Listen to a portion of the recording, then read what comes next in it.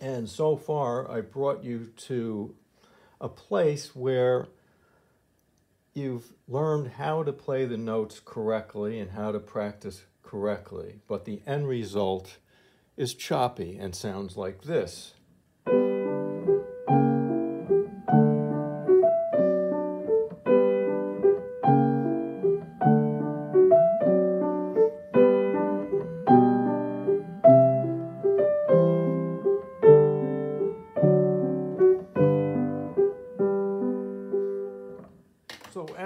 Result, it sounds a little jagged.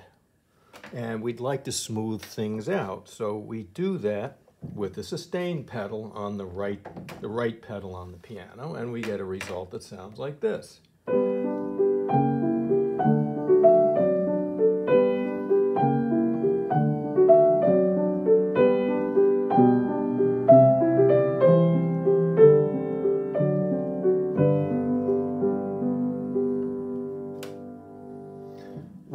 Is a great improvement over the latter performance.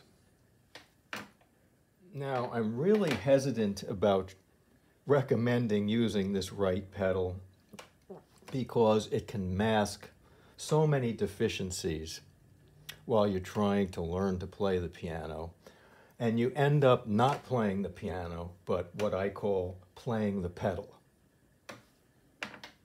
And using the right pedal or the sustain pedal can become an addiction because everything just sounds so pleasant. You don't have to play correctly. You can take your hands off the instrument at any time.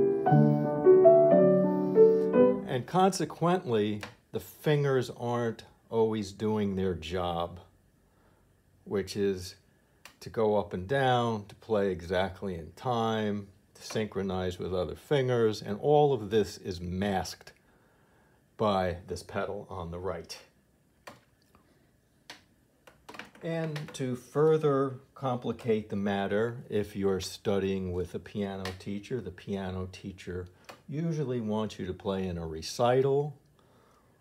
So when you go to your lesson, you can't play that well, and very often this is what happened to me throughout my entire life. You go to your piano lesson, and they go, look, just make circles with your wrists, it's easy, see? So as a result, you go home and you want to prepare for the recital, and you've just been told, well, make circles with your wrist or whatever. It could be anything. It could be uh, energy traveling down from your shoulder to your hand, any crazy thing.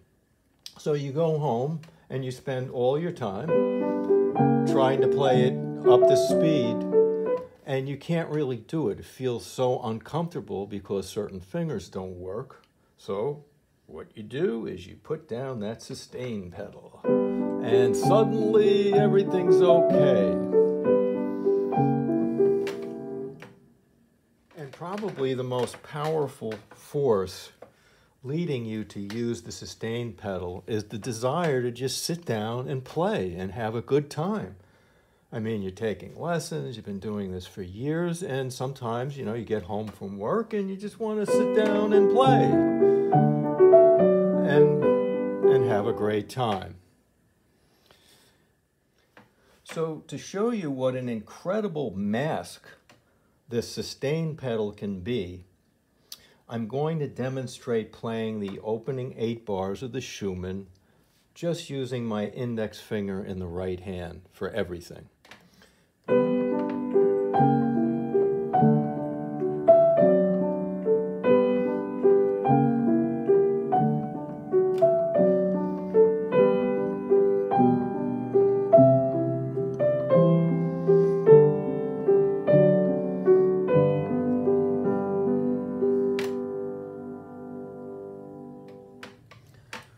Um, so our goal in using this pedal with this piece is to use it sparingly and carefully.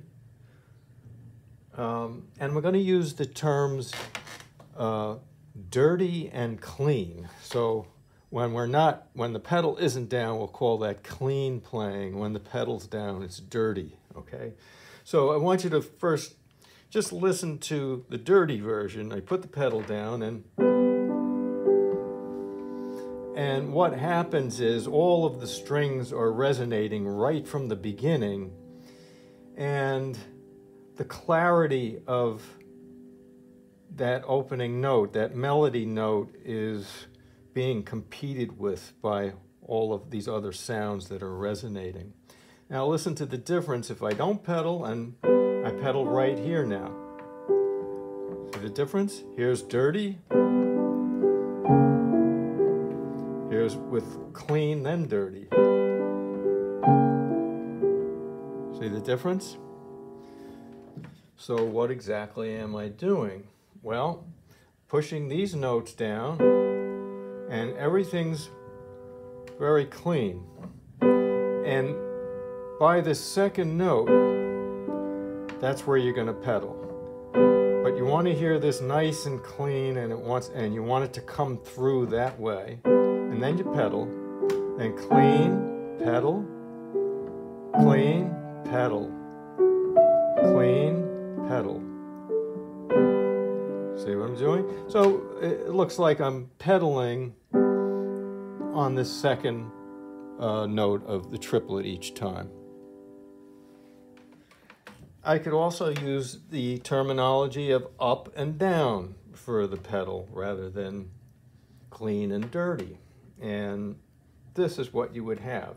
You're up, down, up, down, up, down, up, down, up, down, up, down, up, down, up, down. It's very important to practice up. So it, it's like driving a clutch on a car, you know, where you the car goes forward if you pull the clutch back, and it's, it's kind of a strange thing. So you're going down with these fingers, but your pedal is coming up. So up, down, up with the pedal. Up, down, up, down, up, down. Again, do this very slowly so that you can hear the clarity of not having the pedal down, followed by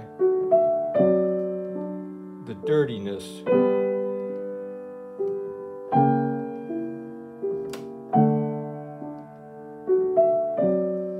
And that's where this finger legato comes in for the right hand.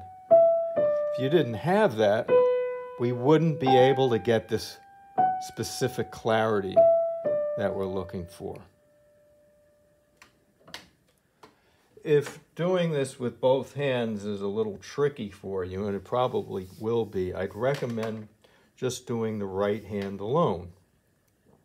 And if you're counting one, two, three, one, two for each triplet, it's actually one, two, three, four, five, six, but let's just do one, two, three. We'd have this. The pedals up on one, two, the pedals down, and then three. So if I'm counting, it's one, two, three, one, two, three. Or I'm going to replace the word down uh, the, the word two with the word down. So we have one, down, three. One, down, three. And on one, you're always up. So it's up, down, three. Up, down, three. Up, down, three. Up, down, three. And you want to be very careful when you play the new up that the pedal is totally clear, that you're just hearing this pure single note.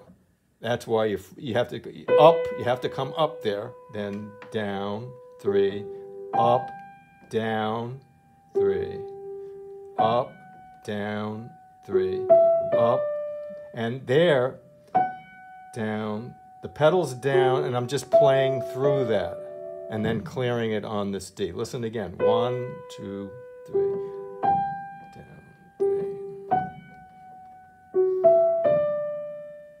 Okay? So I guess that's all for now, and we'll see you next time when we continue on with the Schumann.